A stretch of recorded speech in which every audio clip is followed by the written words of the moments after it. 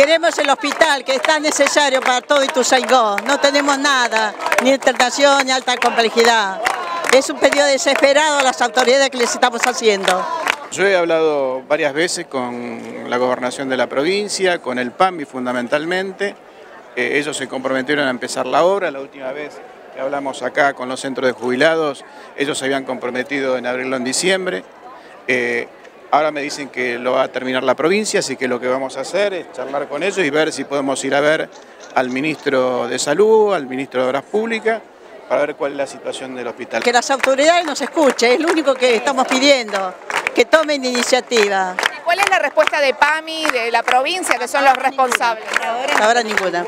Me dijeron varias veces que lo terminaban. ¿eh? Hasta ahora los resultados están a la vista. Hace dos años que esta obra, que tiene casi el 95% de obra terminada, eh, está parado. Así que lo que nosotros queremos es que se abra el hospital, que, esto no es un movimiento político de un partido político en especial, acá hay gente de distintos partidos políticos y otros que no son de ningún partido político, que lo único que quieren es que el hospital funcione, que podamos tener un plan de salud que sea para todos. A eso me dirijo yo, que esto sea una política de Estado.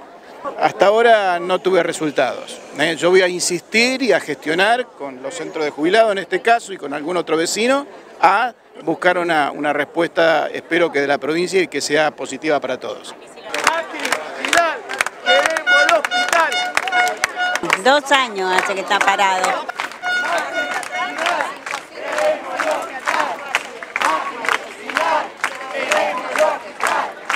Compramos nosotros este terreno, los hombres, los ciudadanos del pueblo de Ituzaingó, y lo compramos para que haya un hospital. El hospital está casi terminado y ahora falta la decisión de invertir en que funcione. Parte de eso nosotros queremos hacernos cargo. La gente de Ituzaingó y el municipio quiere que si ellos no se animan, que nos den el edificio a nosotros y nosotros estamos dispuestos a abrir la guardia por lo menos para que tengan atención las abuelas o las abuelas y la familia de Ituzaingó en general. Para nosotros es un sueño esto y en ese sueño y en esa lucha, para ese sueño estamos embarcados. Exigimos el hospital al gobierno nacional. Exigimos el hospital al gobierno nacional. exigimos el hospital